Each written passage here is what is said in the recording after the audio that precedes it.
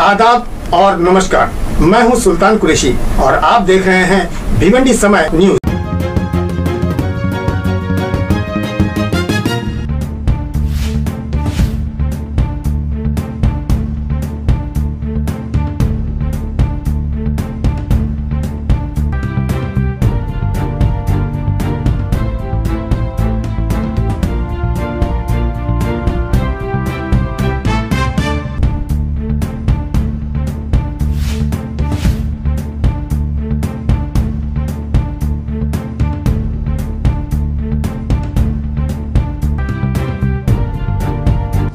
हम लोग का ये प्रोटेक्शन का मकसद ये है कि म्यूनसिपैलिटी में जो कमिश्नर बैठे हैं एक्चुअली वो चाहते क्या है? अगर वो इस चीज़ को देख के भी नज़रअंदाज करते हैं तो उनका मकसद क्या है? और वो बैठे क्यों हैं वहाँ पे? हाँ हमारा बचपन, आज हम लोग स्कूल टाइम से लेके कॉलेज ग्रेजुएशन सब कुछ करके आज जॉब पे है। आज मेडिकल रिप्रेजेंटेटिव हम लोग का टीम है जो। आज इस पूरे भिवंडी में घूमते हैं हम लोग। और ये गड्ढे में हम लोग घूम रहे क्या हम लोग हमारे बच्चों को भी ये गड्ढे में घुमाएँगे? कमिश्नर को क्या आँखें उनकी खुली नहीं है, दिखती नहीं है? और हमको मिलना है तो उनके पास टाइम नहीं होता। और दूसरों को मिलना है या दलालों को मिलना है तो उनके लिए फटाक से उनके पास टाइम है। और दलाल फटाक से उनके पास घुस जाते हैं ऑफ़िस में। और हमारे लिए टाइम नहीं है बिज़ी है, बाद में आओ। ये क्या चीज़ है ये? कमिश्नर को कुछ मतलब कुछ पड़ी नहीं है। भिवंडी के आवाम की कोई उनको ज़रूरत नहीं है। बस जो चाहेंगे अपने मुँह से बोल देंगे, आगे फॉरवर्ड कर देंगे और अपनी कार में बैठ के निकल जाएँगे। 65 इयर्स मेरी एज है, पूरा इंडिया घुमा बचपन में फ़िल्म देखते थे डाकू लोग की। तो वहाँ पे भीड़ होता था, भीड़। जहाँ पुलिस की गाड़ी नहीं जा सकती, घोड़ नहीं जा सकता, रोड ऐसा था। उससे खराब रोड भिवंडी का हो गया है। जिसे चंबल का भीड़ नहीं देखा है, वो भिवंडी का रोड आके देख ले। चलने के लिए रास्ता नहीं है। हॉस्पिटल में पेशेंट लेट हो जाता है, मौत हो जाती है रास्ते में। स्कूल में स्टूडेंट लेट हो जाता है, मार पड़ती है बच्चे को डेली। टीचर उसको बोलते हैं, हम रोज़ तुम लेट आते हम क्या करेंगे? तो हर किसी को तकलीफ़ है। रिक्शा वालों का चेसिस टूट जाता है। दस साल का रिक्शा, पाँच साल में भंगाड़ हो जाता है। हाँ दवा खाने में हड्डी के डॉक्टर का पेशेंट बहुत बढ़ गया है। लेडीज़ को कमर में दर्द। अब तो लेडीज़ भी स्कूटर चलाने लगी है ना। खड्डे में स्कूटर चलाती है कमर का दर्द पैर का दर्द स्लिप डिस्क एकदम कॉमन बीमारी हो गई है।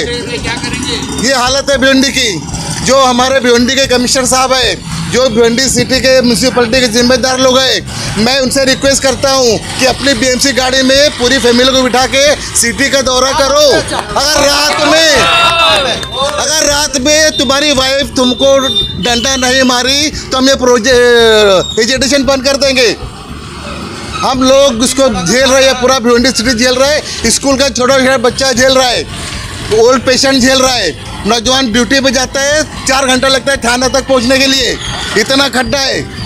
हाईवे तो हाईवे छोटा मोटा रोड पर भी खड्डा है, इतना पैसा किधर जाता है? हम लोग नमक खरीदते हैं जीएसटी भरते हैं, बिस्कुट खरीदते हैं जीएसटी भरते हैं, दवा पे जीएसटी भरते हैं, कपड़े पे, गाड़ी पे, पेट्रोल पे, गवर्नमेंट किधर टैक्स नहीं लेती? अंग्रेज़ सरकार ने भी नमक को टैक्स फ्री किया हुआ था। यहाँ तो नमक पे भी टैक्स लेके रोड ऐसे मिल रहा है। हमारे बुढ़े बोलते हैं कि इससे अच्छी सरकार अंग्रेज़ लोग की थी। हम तो समझते हो तो बहुत अत्याचारी थे इंडिया को लुटने आए थे। इससे बड़े लूट रहे तो अभी दिख रहे हमको। सड़क है, जो हमें बिना मांगे मिलना पड़, चाहिए था। आज हमको इसके लिए इतना एहतजाज करना पड़ रहा है। और मैं आपको कहना चाहूँगा, आप ही जो मीडिया वाले हैं आप ही जो मीडिया वाले जिनको हमारे legislative member MLA Mahesh Chaukle साहब ने बुलाकर कहा था कि हम आठ दिन के अंदर दरगाह, रोड, दीवान शाह का काम शुरू करेंगे। एक बार नहीं, आपको दो बार बुलाया। एक बार अपनी ऑफ़िस में बुलाकर उनकी मीटिंग थी, जब भी बोला और दूसरी बार कमिश्नर से मीटिंग लेने के बाद उन्होंने बोला कि हम आठ दिन के अंदर इस रोड का काम शुरू करेंगे। तो इस रोड का काम आठ दिन के अंदर शुरू क्यों नहीं हुआ? आपकी कितनी पावर है? आपका अगर आपने कहा तो छः दिन में काम शुरू होना चाहिए। आज बीस दिन हो गया इस रोड का काम शुरू नहीं हुआ है। मतलब आप, आपके, आपकी बात में दम नहीं है। आपका पेपर वर्क या आप किस किस वजह से इस रोड को डिले करते जा रहे हैं, हमको समझ में नहीं आ रहा है। क्योंकि आपने पद्मा नगर का काम शुरू कर दिया, भंडारी का काम रोड पूरा बन गया। वो, कामत घर का पूरा रोड बन गया। कामत वराल देवी का रोड पूरा बन रहा है। तो ये दो चार रोड पे आप क्यों इसको काम को नहीं शुरू कर रहे? एक दरगाह रोड है थाना रोड है निज़ामपुरा ये रोड भी हमारे को बना के चाहिए। रोड के सिवा दो नंबर की बिल्डिंग खाली बनती है। रोड क्यों नहीं बनता? क्यों नहीं बनता ये? दो नंबर की खाली बिल्डिंगे बनेगी भिवंडी में? और हमारे इलाके में सबसे ज़्यादा बनती है। फिर बाद में बोलेंगे ऐसा है वैसा है, ये तोड़ेंगे वो तोड़ेंगे। हाँ? खड्डों के बारे में। अरे खड्डे के बारे में क्या बोल रहा हूँ? वही तो बोल रहा हूँ मैं। अरे सपने में आ रहे खड्डे सपने में आ रहे हैं। और अगर कमिश्नर साहब नहीं काम कर पा रहे हैं तो अपना तबादला करा ले भिवंडी शहर से। और बिल्डिंगों पे ध्यान कम दे सड़क पे ध्यान ज़्यादा दे। उनका भी फ़ायदा है हमारा भी फ़ायदा है सबका फ़ायदा है ये इसीलिए है। ये देख लीजिए।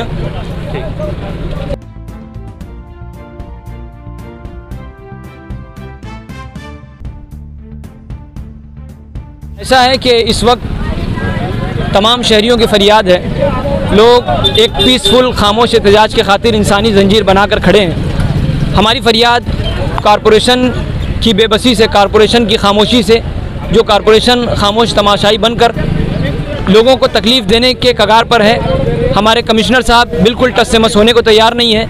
हज़ार बार, बल्कि मैं हज़ार बार कहता हूँ, कई बार उनके सामने भिवंडी के केसेस अखबार की सुर्खियों में है, सोशल मीडिया पर है। उन्हें चाहिए था कि तवज्जो देते और भिवंडी के सड़कों को सही करते।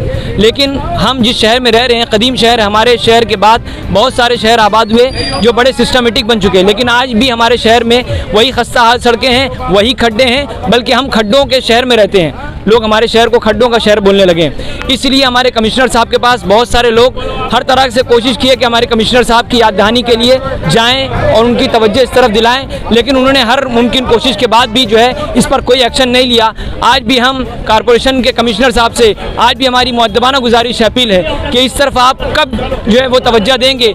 कई सारी जाने जा चुकी हैं, बहुत सारे लोग ज़ख्मी हो चुके हैं, रिक्शा वाले, फोर व्हीलर वाले, बाइक वाले और स्कूल के तलबा, हर तबका जो है मुतासर है, अपनी फरियाद कर रहा है। तो कमिश्नर साहब कब हमारी फरियाद को सुनेंगे वो इसका हमें जवाब दे दें।